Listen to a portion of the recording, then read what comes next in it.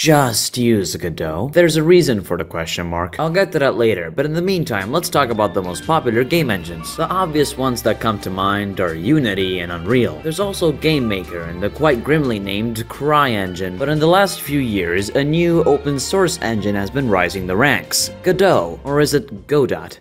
To be honest, I don't care. Anyway, Godot is an open source and free game engine. Like many game engines, Godot has its own programming language, GDScript, but also supports C Sharp and Python. You can make 2D and 3D games in Godot, and it also supports some other features like light baking, plugins, render targets, video playback, audio playback, particle systems, keyboard support, good to know that's there, and loads of useful 3D animation stuff. Godot also uses this whole node system for game making, which is quite unique and many game devs, despite knowing that Godot doesn't support all the features that Unity and Unreal support, still prefer Godot. Whether it be because of its open source nature, GDScript, or Python support, many people prefer Godot over other game engines. However, as mentioned before, many professional features aren't supported in Godot, and the support that some game engines like Unity and Unreal get on consoles is nothing compared to Godot's cross-platform support, and then there's the fact that I'm not a game dev. I've barely used Godot in my life. The last time I used it was around 3 months months when I was trying to learn GDScript. I have experience in programs that I've supported before, like Krita and GIMP, but I can't support this program with the same confidence because I can't speak from personal experience. However, if you are an aspiring game dev, then Godot is a great way to start. There are some other options like ClickTeam Fusion, and of course, the undisputed best game engine of all time, Scratch. But in my opinion, Godot's openness and freeness truly makes it the best. So yeah, I might not be able to speak from personal experience, but if you are a game dev, just just use Godot?